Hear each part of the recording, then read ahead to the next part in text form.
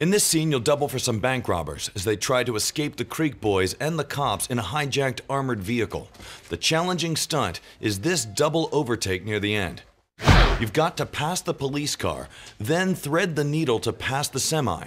If you haven't built up enough speed, you'll smash into the semi head on, so make sure to lay heavy on the throttle.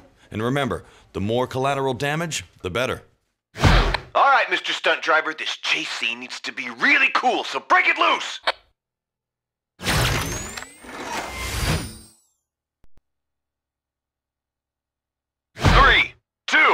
One, action!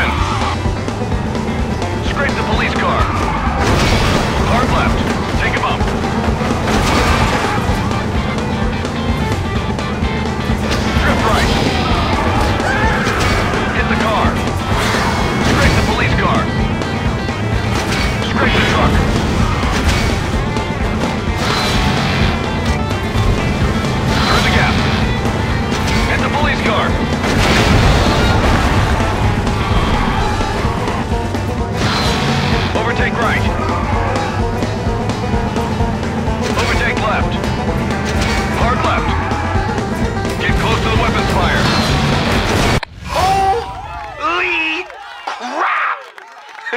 I've been to some crazy Hollywood parties, and that was still the sweetest thing I've ever seen!